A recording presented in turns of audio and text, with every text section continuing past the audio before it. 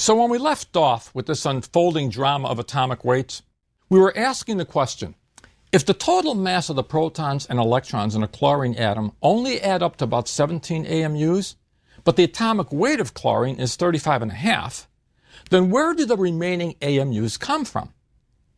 Well, now the story does get just a bit more complicated. You may have noticed that I keep talking about the average weight of a chlorine atom why average? Why not just say the weight of a chlorine atom? Well, that's because not all chlorine atoms are the same. What? Not the same? You did lie to me. You said that all chlorine atoms had to have 17 protons in their nuclei and 17 electrons outside their nuclei. Yes, and they do. But as you may already have realized, there is another particle in the nucleus that we haven't accounted for, namely the neutron. And except for most hydrogen atoms, nuclei of all elements contain neutrons. And these neutrons provide the missing mass that we've been trying to account for. So it turns out that most elements consist of more than one kind of atom. Most consist of anywhere from two to several different kinds of atoms that differ from each other in that their nuclei contain different numbers of neutrons. Atoms of the same element that differ in the number of neutrons are called isotopes. Almost all chlorine atoms consist of only two isotopes. One is called chlorine 35, which comprises about 75.77% of all chlorine atoms. The other is chlorine 37, which comprises about 24.23% of all chlorine atoms. The numbers 35 and 37 refer to what are called the mass numbers of these two isotopes. There are two different ways to define the mass number for a given isotope. The most useful definition is that the mass number is simply the total number of protons and neutrons in the nucleus of that particular isotope. But it can also be defined as the mass of that particular isotope rounded off to the nearest whole number. Let's see why these two definitions generally coincide. We know that a proton has a mass of about 1 AMU. A neutron has a mass of about 1 AMU. And the mass of an electron is so small it can essentially be ignored. So let's suppose we had an atom of chlorine that contained 17 protons, 17 electrons, and 18 neutrons. The 17 protons would have a total mass of a little over 17 AMUs. The mass of the 17 electrons can be ignored because their mass is too small to worry about. And the 18 neutrons would have a total mass of a little over 18 AMUs. If we actually wanted to include decimal places, we could calculate the theoretical mass of chlorine 35 the following way. The 17 protons would have a total mass of about 17 times 1.0073 AMUs, or 17.1241 AMUs. The 17 electrons would have a total mass of about 17 times 0.00055, or 0.00935 AMUs, and the 18 neutrons would have a total mass of about 18 times 1.0087, or 18.1566 AMUs. That would give us a total mass of about 35.29005 AMUs, which, when rounded off to the nearest whole number, comes out to be 35, which is equal to the total number of protons and neutrons. Now, if you're really thinking, you may say that if we took some later element that has a lot more protons, neutrons, and electrons, we could pretty easily get a total mass that would in fact not round off to be equal to the total number of protons and neutrons. If you're ambitious, try this with some isotope of some heavy element near the end of the periodic table, perhaps something like uranium, element number 92, with a mass number of perhaps 238. You'll find that the theoretical mass that you calculate actually comes out to be pretty close to 240 rather than 238. So how can I say that the mass number is the mass of the isotope rounded off to the nearest whole number? Well, I really don't want to get involved in a lengthy discussion of this effect, but it turns out that when a nucleus is formed from its individual protons and neutrons, it actually weighs less than the sum of the individual particles from which it is made. Now, that may sound ridiculous, but it actually has to do with Einstein's famous equation, E equals mc squared. Believe me, I'm not trying to confuse or impress you, but when a nucleus is formed from its individual protons and neutrons, a tremendous amount of energy is released. Einstein said, and it has been proven, that when something loses energy, it actually weighs less. Losing energy is kind of like the same thing as losing mass.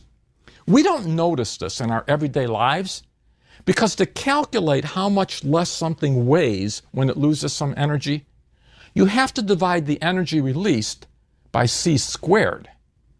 c is the velocity of light, which is a huge number, 3 times 10 to the 8th meters per second. Squaring that makes it 9 times 10 to the 16th. And when you divide something by 9 times 10 to the 16th, you get a pretty small answer. So small that we never notice this effect in our daily lives. But nuclear processes involve so much energy that this effect is observable. So, as I said, when a nucleus is formed from its protons and neutrons, so much energy is released that it will actually weigh less than what you might calculate it to weigh. And adding in this effect makes our previous statement valid. The mass number of an isotope is equal to the total number of protons and neutrons in the nucleus of that isotope. There is a standard way of representing a particular isotope. Let's look at an example. Chlorine 35 would be written this way. We write the atomic number and the mass number for the isotope before its symbol. We write the atomic number as a subscript and the mass number as a superscript. And the correct symbol for chlorine 37 would be Stop the video, back it up if necessary, and go over this if that isn't quite clear just yet. And if we happen to be talking about an ion, the charge on the ion, as we have already seen, is written as a superscript that appears after the symbol for the isotope. So let's suppose we had a negatively charged chloride ion, a chloride ion made of chlorine 37. We would represent it the following way. And once we understand this notation, we can then determine how many protons, neutrons, and electrons there would be in this ion. Let's do that. Since this ion has an atomic number of 17, we know it has to contain 17 protons. Since it has a charge of minus 1, we know that it has, it has to contain one more electron than proton. So it contains 18 electrons. And the mass number is 37, which means that it contains a total of 37 protons and neutrons. Since we know it contains 17 protons, it must therefore contain 37 minus 17 or 20 neutrons. Let's try another for practice. Pause the video again and try to determine how many protons, electrons, and neutrons would be contained in this isotope of strontium. Strontium can be located in the second column of your periodic table. Strontium is element number 38. Since its atomic number is 38, we know one thing for certain. Its nucleus contains 38 protons. But since it is a plus 2 ion, it has lost two electrons, which means that it contains two less electrons than protons. This means that it only has 36 electrons. The mass number is 87, which means that it contains a total of 87 protons plus neutrons. Since it has 38 protons, it must contain 87 minus 38 or 49 neutrons. There are several practice problems designed to help you sharpen your skill in the workbook that accompanies these videos. Okay, back to chlorine. Been a long time getting around to answering our original question of what the atomic weight of an element actually represents. If you remember, we said that the atomic weight represented the average weight of a chlorine atom. Perhaps now you can see why we use the word average. We use the word average because not all chlorine atoms are the same. Chlorine 35 has a mass of around 35 AMUs, while chlorine 37 has a mass of around 37 AMUs. And as we saw, chlorine 35 happens to be much more abundant than chlorine 37, roughly 75% to 25%. Since there are essentially only two isotopes, chlorine 35 and chlorine 37, and since chlorine 35 is much more abundant than chlorine 37, we know that the average atomic weight of chlorine should come out to be closer to 35 than 37. And it does. The atomic weight of chlorine is about 35.5. Now we are finally ready to take a good look at our periodic table and see what it basically tells us and how we might use it. As you may already know, the periodic table is an arrangement of the elements into what are called chemical families. The vertical columns are in fact called families or groups. The horizontal rows are actually called rows or periods. There are also some broader divisions which I'd like to cover first. The two major groups of elements are metals and nonmetals. You notice a zigzaggy staircase like line on the right side of the table? The elements to the left of this line, as well as the elements in the two rows placed below the bulk of the table, are basically all metals. Most of the elements to the right of the staircase line are nonmetals. There are a lot more metals than nonmetals. And here is where we can illustrate the power of organizing elements into a periodic table. Suppose no such organization existed. You would then be forced to try and memorize properties for each individual element that you might want to say something about. It would be like trying to memorize those lists of numbers that we talked about in the first lecture. But suppose you wanted to be able to say something rational about an element like iron or gold or sodium or copper, something that had a high probability of being correct. These elements are all metals. We know that because of where they appear on the periodic table. And rather than having to memorize the properties of each element, we can make generalizations. Metals in general have the following properties. But before we list these properties, I do feel compelled to make a qualifying statement. By looking at the periodic table, we can see that there are a lot of elements that are classified as being metals. And as you might surmise, their properties really vary quite a bit. Some, like those in the first column, lithium, sodium, potassium, rubidium, and cesium, are highly reactive. I mean, so much that they react explosively if they come in contact with water. Others, like platinum or gold, are quite unreactive and are used in jewelry, something that we obviously wouldn't want to undergo a chemical reaction while we're wearing it. So don't take the list we're going to discuss too literally, as if every single metal will exhibit all of these properties. These are generalizations. And is true as and as is true of most generalizations, there often are many exceptions. But we can say that if something is a metal, there is a good probability that it will exhibit all or most of the following properties. If you polish the surface of a metal, it will generally be quite shiny. We call that lustrous. Often the actual surface of a metal will look dull simply because it has reacted with oxygen from the air to form a coating of an oxide compound. But when clean, it will probably be rather shiny. Metals also tend to be very good conductors of heat and electricity. That's why you don't hold on to one end of a fork when the other end is in a fire. And that's why the wiring in your house is likely made of copper and why you don't stick a knife into an electrical outlet. Metals also tend to be malleable and ductile. Malleable means that you can hammer them into thin sheets without having them shatter. And ductile means that they can be drawn into wires. Both really are due to the same general property. Metals can be shaped and formed. They do not tend to shatter under stress. And when metals react chemically, they tend to lose electrons to form positive ions. This is the one property that really is most consistent across this entire group of elements. Some books will also say that metals have high densities and high melting points. And I suppose that's generally true, but there are some pretty extreme exceptions.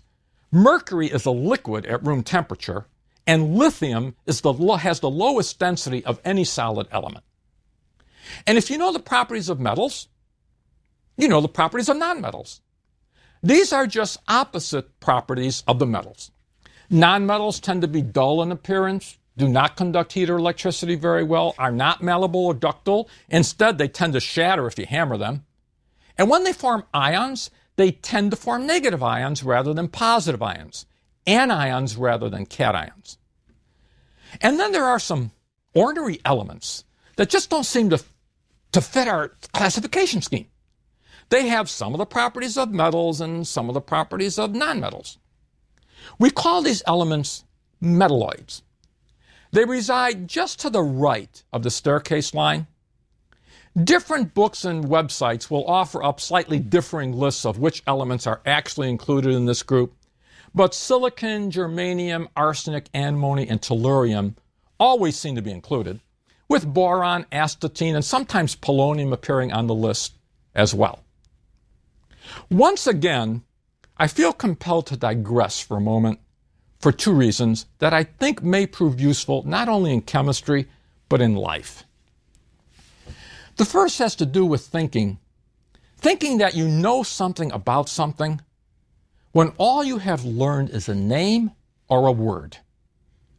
When I ask students, if I were to ask you, why is it possible to hammer metals into thin sheets?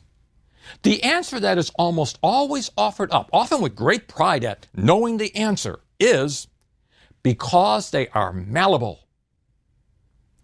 Now, what does that mean? Ask the same student what malleable means, and he'll tell you that it means you can hammer something into a thin sheet. So the student has really said that you can hammer metals into thin sheets because you can hammer them into thin sheets. Knowing the name for something doesn't mean that you know anything about it. But somehow or other, it always makes us feel as if we do. I have even seen these kinds of ridiculous answers appearing on examinations. Ladies and gentlemen, you don't know anything about why metals can be hammered into thin sheets. And we're not actually going to be explaining this in these videos, which is fine. Just try to realize when you actually know something about something and when all you have really learned is just a term or a name. The second thing is how we tend to think our classification schemes somehow or other are the truth, and things that don't fit them are in some way odd or deficient. Ladies and gentlemen, there are no metals or nonmetals. What? You just said there were. Of course. What I mean by that is that all that exists are elements with different properties. We created the concept of metals and nonmetals. The elements don't have to fit whatever classification scheme we tried to think up. I have often found students talking about metalloids as if there was something wrong with them. Why aren't they metals or nonmetals? Why can't they behave? Why do they have to be an exception? Well, they aren't exceptions to anything significant. They are just exceptions to the scheme that we decided to draw up. But after we take the time and make the effort to design a classification scheme, for some psychological reason, we tend to expect nature to obey our scheme. That's really kind of silly when you think of it. Now, let's take a broad look at the overall structure of the periodic table. There are four main sections the way most periodic tables are laid out. There are two columns of elements on the left side that kind of form a group. There are six columns of elements on the right side that kind of form another separate group. There are 10 shorter columns of elements in the middle. And there are two rows of 14 elements kind of separated and placed below the main table itself. Now, please, don't think that there is anything odd or wrong with the elements in these last two rows. Putting them at the bottom makes it look as if they were exiled or something. I mean, they could have been put into the heart of the table, but it would have made the table too inconveniently wide, so they were just placed at the bottom. These two rows or periods are called the inner transition elements, a fairly useless piece of information, since we won't be talking about these elements. But a name students somehow seem to be expected to know. I'm not sure exactly why. The rows of 10 elements in the middle of the table are called transition elements or transition metals. They are all metals and include most of the elements that students will name from memory if called upon to name some metals, things like copper, iron, gold, silver, and zinc. I think they call them transition elements because they take us in transit from the extremely metallic elements found at the extreme left of the table to the nonmetals on the right. The first two columns and the last six columns are often called the representative elements or the main group elements. Let's take a close look at these families. The first column in the periodic table consists of the elements lithium, sodium, potassium, rubidium, cesium, and francium. These elements constitute what are called the alkali metals. These are all highly reactive metals, so reactive that they are never found free in nature. They are always combined with some other element, often oxygen. The most useful thing you can probably extract and remember about this family is that when they combine with other elements, they form plus one ions. This is something that will be good to remember later in the course. The second column in the periodic table contains what are called the alkaline earths or alkaline earth metals. These will be beryllium, magnesium, calcium, strontium, barium, and radium. When they undergo chemical reactions, they form plus two ions. Also, a good thing to remember later in this course. The far right hand column of the periodic table, the family consisting of helium, neon, argon, krypton, xenon, and radon, are called the noble gases. They are extremely stable elements that form a relatively limited number of compounds. Interestingly enough, this entire family was for many years called the inert gases. When I was in high school, I was taught that these elements could never form any chemical compounds, and I believed it. I suppose if you would have asked me why they didn't form any compounds, I would have answered, well, they didn't form any compounds because they were inert, making the error we just talked about. That may even have been the correct answer on one of our exams. But as early as 1933, a great chemist by the name of Linus Pauling had actually predicted that compounds of at least some of these elements could be synthesized. And by 1962, they had. Chemists have since created many compounds of argon, krypton, xenon, and radon. Although synthesizing many of these is not in general an easy thing to do. No compounds of helium or neon, to the best of my knowledge, have yet been created. So, at a practical level, we can consider the noble gas family of elements to represent a group of elements that have little tendency to combine with other elements, although they can and have been made to do so, at least some of them. The family just to the left of the noble gases, fluorine, chlorine, bromine, iodine, and astatine, are called the halogens. They are also very reactive chemicals and quite dangerous. They form both molecular and ionic compounds. When they form ions, they almost always form simple minus one ions like F minus, Cl minus, Br minus, or I minus. Some exceptions do exist, but you probably won't encounter any of them. And to the left of them is the family consisting of oxygen, sulfur, selenium, tellurium, and polonium.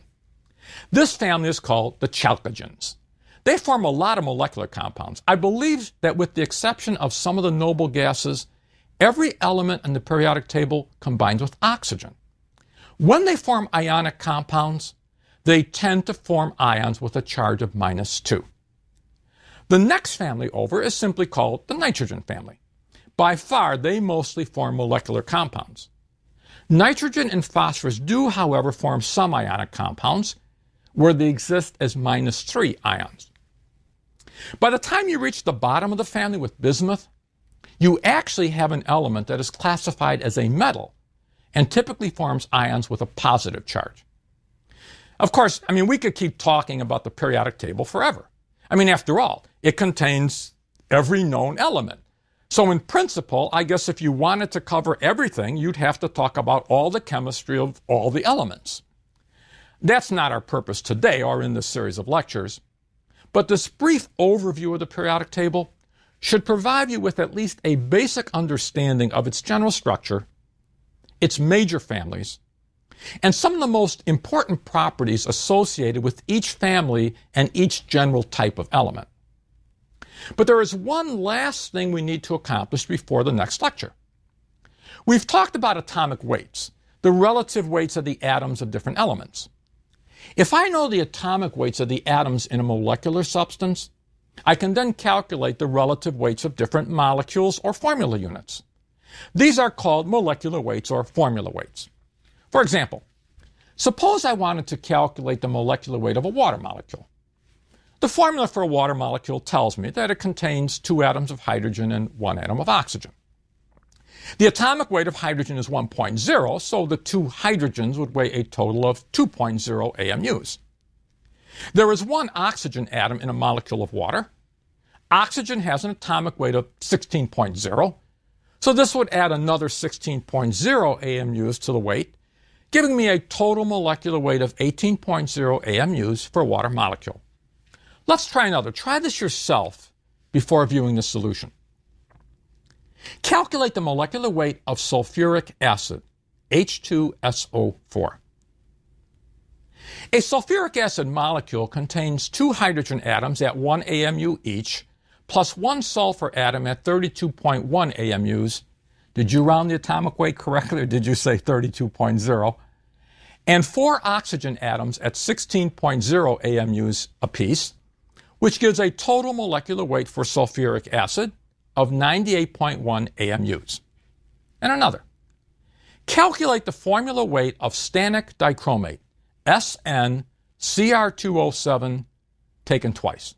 But before you do, I'd like to make a comment.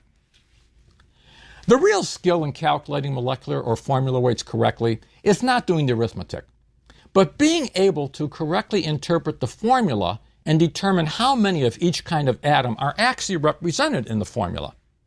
If you are having difficulty with this, go back and look at the previous lecture and try the problems presented in the workbook again. Okay, stannic dichromate. A formula unit of stannic dichromate contains one tin at 118.7, four chromiums at 52.0 each, and 14 oxygens at 16.0 each. Here's how I got that. There is just one atom of tin, the subscript of tin is understood to be 1. Remember that the 2 outside the parentheses refers to everything inside the parentheses and only what is inside the parentheses. There are two chromiums inside the parentheses, so two chromiums taken twice means that we have a total of four chromiums. There are seven oxygens inside the parentheses, and we have to take these seven oxygens twice. So this gives us a total of 14 oxygens. Adding up the total masses of all these atoms produces a formula weight of 550.7 AMUs. This is a skill that you absolutely must master to proceed su- successfully in this course. So if you still are not close to 100% on this, try working more practice problems, either from your current textbook or from the workbook that accompanies this course. The next lecture will deal with what is probably the most important single topic in the entire series of lectures the mole.